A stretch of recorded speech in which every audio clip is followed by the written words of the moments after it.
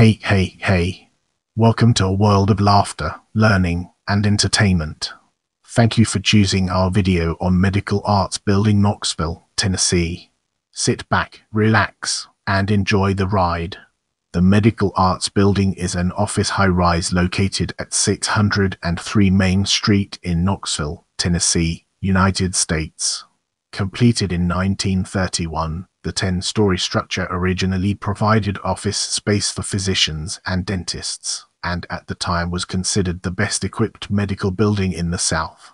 The building has been listed on the National Register of Historic Places as one of the region's best examples of a Gothic Revival-style office building.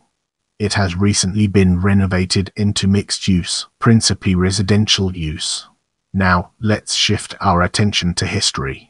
The lot on which the Medical Arts Building stands was originally located just outside Charles McClung's 1791 plat of Knoxville, though the lot had been incorporated into the city by 1795.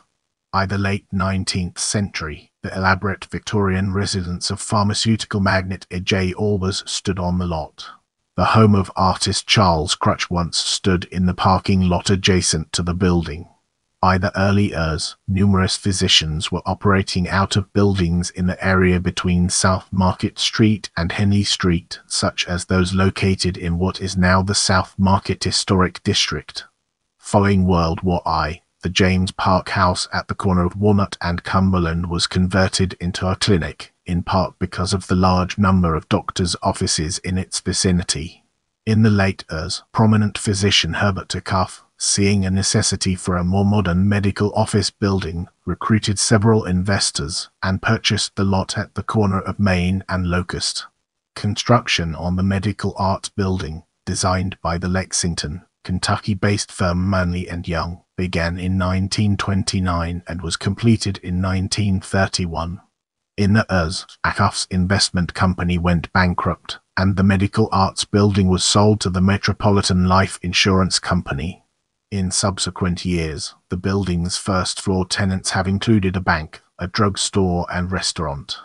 In 1981, Knoxville area developer Christopher Kendrick purchased the building and in turn sold it in 1983 to the Medical Arts Building Association which renovated the building for modern office space.